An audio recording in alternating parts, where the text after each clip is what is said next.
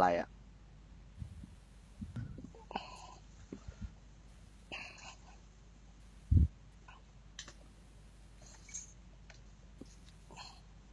formalist formalism อือหือจะน่าจะเป็นเกี่ยวกับเรื่อง art หรืออะไรนิดนึงใช่ไหมครับ โอเค ก็ใจเย็นๆ หลักๆ เลยเวลาเราดู reading อะ CUTEP มันจะ based on แบบ สิ่งที่เราเรียนในในในมัธยมปลายมาครับ main idea มันจะไล่เป็น pattern นะครับ ก็คือภาพรวมของ reading นี้ที่น้องผิดอยู่บ้างก็คือในเรื่องของ pronoun reference นะครับการอ้างอิงของเจ้าตัวเนี่ยไอ้ pronoun ต่างๆนะครับ แล้วก็ในเรื่องของ detail ก็ต้องเช็คดีๆ แล้วก็คำศัพท์เนี่ย meaning of the word words in context เนี่ยแหละ vocabulary in context แล้วอีกอันหนึงก็คือ inference ก็คือการคาดคะเน เพราะฉะนั้นเราจะสามารถแบบจัดการเป็นประสิทธิภาพกับเรื่องพวกนี้ได้ยังไงใช่ไหมภาพรวมมันก็คือต้องมีเราต้องรู้ keywords ก่อน เราต้องเข้าใจถึง context ของ vocabulary ด้วย แล้วก็นอกเหนือไปกว่านั้นเนี่ยแน่นอนการอ่านเนี่ยนะครับผมเราอ่านเพื่อให้เข้าใจโอเคไหมแต่เราไม่ได้อ่านเพื่อแบบเก็บรายละเอียดทุกเม็ดด้วยประเด็นคืออ่านอย่างนี้ก็คือแบบอ่านให้มันผ่านเข้าใจไหมครับ แล้วก็อ่าครับกลับมา reference แล้วเวลาทุกครั้งเลยเนี่ยอ่านอย่างเงี้ยไม่ให้พลาดอะอย่าลืมเช็คด้วย โอเค ที่เรายังครับพูดผิดเนี่ยบางทีมันไม่ได้เช็คสักทีเดียวทำเป็นสเต็ปครับ แล้วมันมันไม่ยากเพราะ reading มันไม่เยอะมันแค่แบบ แค่นี้เองเยอะที่สุดก็ประมาณหน้านึง โอ้ยสามร้อยถึงห้าร้อยคำต่อ passage ชิวๆมา alright มา ตามพี่นะครับ well even before the turn of the century movie began to develop into major directions the realistic and the formalistic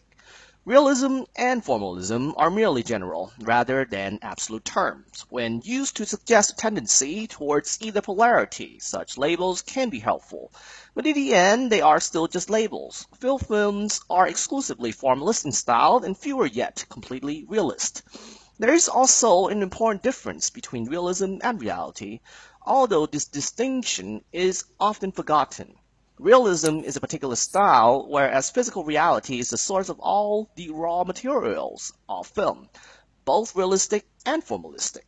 Virtually all movie directors go to the photographable world for their subject matter, but what they do with this material, how they shape and manipulate it, determines their stylistic emphasis. Generally speaking, realistic films attempt to reproduce the surface of concrete reality with a minimal minimum of distortion.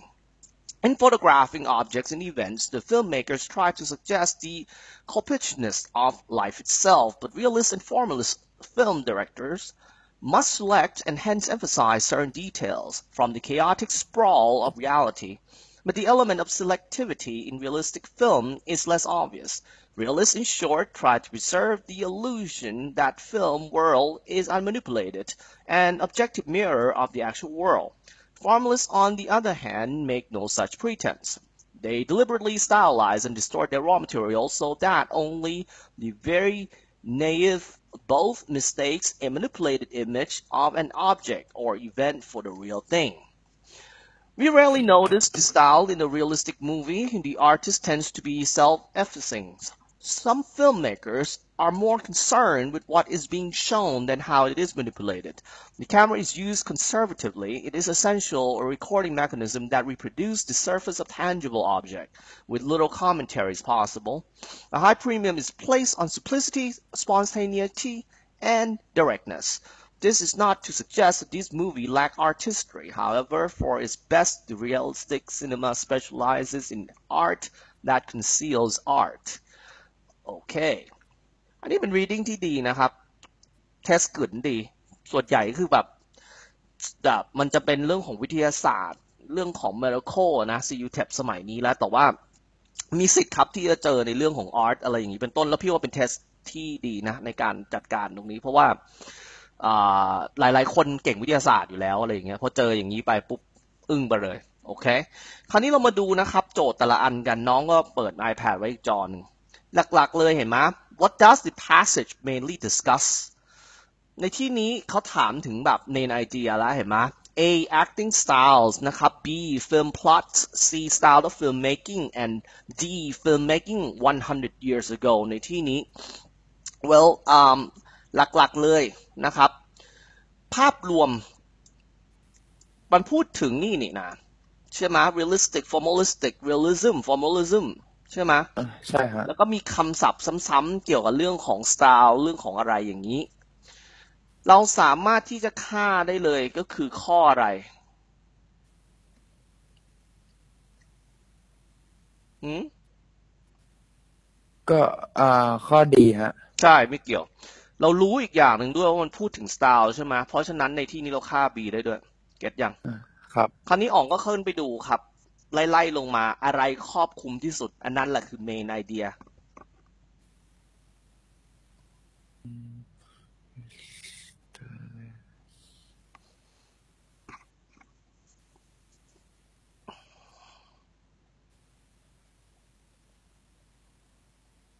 สี่อะฮะล้านเปอร์เซ็นต์จริงครับ we talking about style of filmmaking จริงไม่จริง เพราะมันมีเห็นไหมฟิล์มข้างบนฟิล์มข้างล่าง แน่นอนครับ เนี่ยแหละครับเทคนิคในเรื่องของการหา main idea of the passages เรา dice เราคัดอะไรที่มันไม่เกี่ยวข้องกับ reading นี้ เราดูภาพรวมว่ามันครอบคลุมขนาดไหน แล้วเราก็ select อันที่ถูกต้องเนาะนะครับนี่มีอะไร คราวนี้มาดูอีกสไตล์หนึ่งละ โจทย์ข้อที่ 64เขาบอกว่า with which of the following statement would the author most likely agree อันนี้เป็นลักษณะของ inference ละ เราต้อง infer อะไรใช่ไหม ก็คือคาดคะเนว่า author เขาจะ agree กับ statement ใหม่มากที่สุด โอเคนะครับอ่า A B C D น่าจะคำศัพท์รู้หมดเนาะ ครับ คราวนี้เรามาดู choice กัน realism and formalism are outdated terms นะครับ เข้าใจความหมายไหมเนี่ยของ A เนี่ย ก็พอก็พอเข้าใจฮะ โอเค เข้าใจว่าก็เอเอ่อเรียลลิซึมกับฟอร์ม l ลิซึมเนี่ย มันเหมือนกับว่าอ่ามันเหมือนกับว่ามันเก่าแล้วอะไรอย่างเงี้ย อืม ถูกต้อง B most films are neither exclusively realistic nor formalistic หมายความว่ายังไง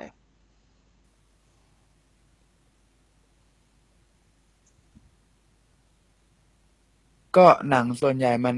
ก็ไม่ ไม่ทั้งเรียลลิสติกแล้วก็ฟอร์ม l ลิสติก exclusively คือ keywords exclusively คืออะไร พิเศษหรอหรือว่านี่ดูดูโฆษณาปุ๊บ exclusive นี่คิดไว้นั่นก่อนเลย exclusive คือโดยรวมทั้งหมด เพราะฉะนั้นในที่นี้เขาบอกว่าหนังส่วนใหญ่แล้วเนี่ยมันไม่ที่จะเป็นทั้งหมดในเรื่องของ realistic หรือว่าเป็นทั้ง formalistic โอเคไหมครับ นะฮะ alright คราวนี้ข้อ C realistic films are more popular than formalistic one อันนี้ความหมายว่ายังไงครับน้อง ก็เอ่อ realistic film มันเหมือนกับว่าดังกว่าฟอร์ม l ลิสติกใช่ ค่าได้มาข้อ C เนี่ย ได้ล้านเปอร์เซ็นต์ครับ ไม่ได้บอกตรงไหนเลยว่า more popular โอเค แล้วข้อ D เนี่ย formalistic films are less artistic than realistic ones หมายความว่าอะไร ก็ฟอร์ม l ลิสติกอ่าอ่าก็เหมือนกับมันมันมีความอาร์ตน้อยกว่า realistic อ๋อถูกอืมแล้วนี่คิดว่ามันเป็น potential ข้อที่จะถูกได้ป่ะอืมเดี๋ยวผมกลับไปอ่านก่อนฟอร์ม l ลิสติกอ่านนี่ผ่านๆตานี่จำหน่อยก็ดีนะ นะครับ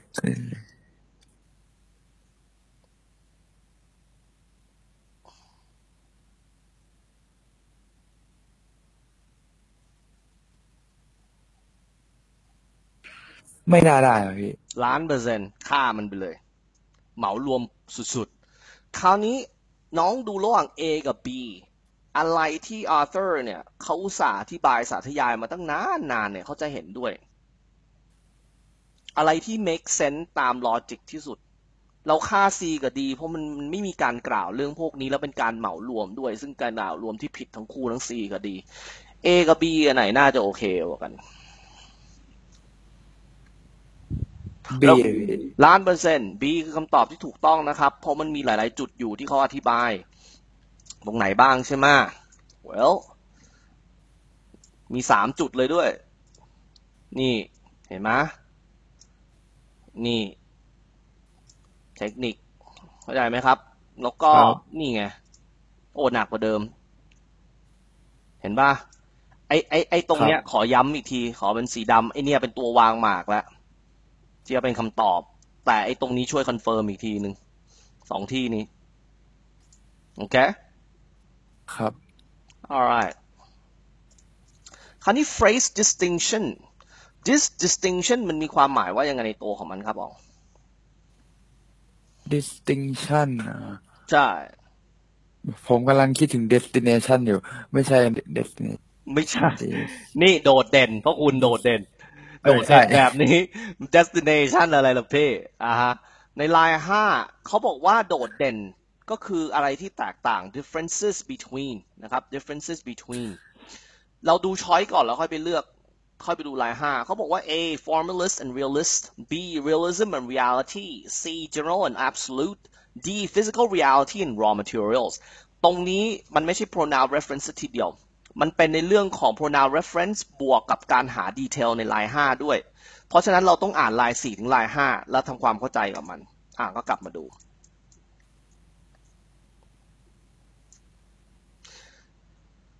เนี่ย the realistic and formalist เนี่ย realism and formalism are merely general rather than absolute term we use to suggest a tendency towards นะครับ either polarity such label can be helpful but in the end they are still just label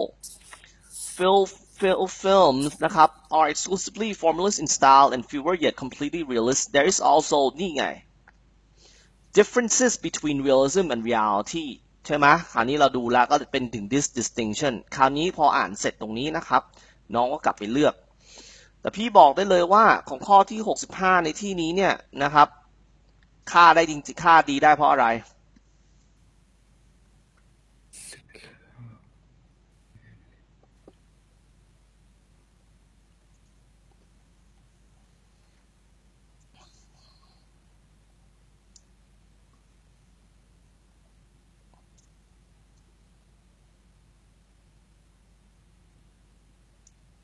ค่าดีได้เพราะอะไร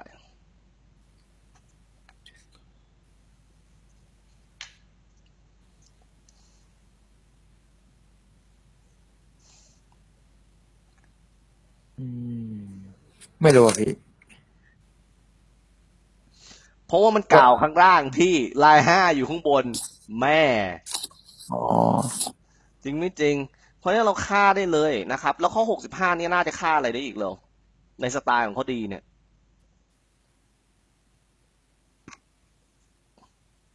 ข้อสี่ใช่เห็นไหมไม่ยากเลยนะครับ เวลาเราอ่านเราใจเย็นเนี่ยทำตรงนี้เรา eliminate อะไรไม่ใช่ เราจะได้จัดการขยะออกจากชีวิตของเรานึกภาพออกไหมไม่ว่า reading ไม่ว่า reading หรือ decision making นะครับ เราจะเจอ information ที่มันแบบ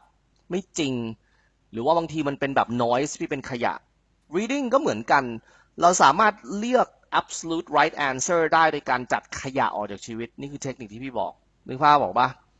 ไม่ว่าจะเป็น CU TEP หรือว่าเป็น IELTS หรืออะไรก็แล้ว แต่เรา read for comprehension แต่เวลาเราดู choices เนี่ยเราเรา scratch ออกไปเนาะโอเคอ๋องคราวนี้อ๋องก็ดูแล้วว่า A กับ B อันไหนน่าจะใช่มากกว่ากันเอครับ ใช่ถูกต้องจบข่าว โอเค คราวนี้ข้อ 66 นะครับ เป็นเรื่องของดีเทลล้วนๆละโอเค ข้อที่ 66เนี่ยเขาบอกว่า whom does the author say is primarily responsible for the style of a film อือฮึ What the other ฮะถ้ามัวกับ actor ฮะเมื่อกี้ว่าว่ายังไงนะ ถ้าถ้าจะมัว ก็ actor ก็อย่าพี่มั่วสิพี่ก็กลับไปดูสิมันมันดีเทลมันรายละเอียดเลยเนี่ยไอ้นี่คือเรียนมปลายหาดีเทลเลยนะไม่ได้หลอกอะไรเลยแล้ว อือฮึ who primarily responsible for style of a film primarily responsible คงค่าข้อดีได้อะเพราะอะไรวะหืมก็มันมันไม่ได้พูดเลยอะใช่ เก่งมาก อือฮึ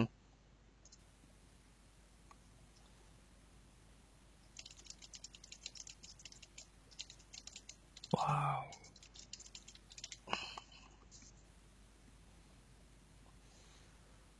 อืมอ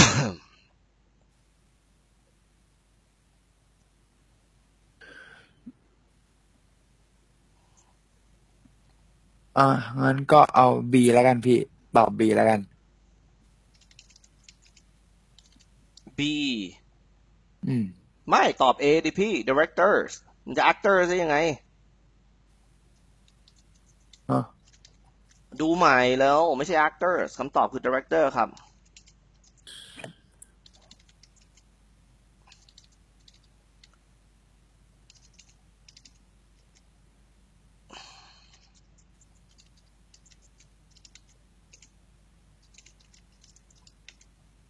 เพราะอะไรถึงเป็น director เป็นคนนำออกถ้านคือนำ actor ก็ไม่ต้ใช่องน้อง มันเป็น director เพราะอย่างนี้มาเดี๋ยวช่วย style of the film เขาพูดถึง style of the film ไงเห็นปะอ่าตรงนี้นะครับ อืม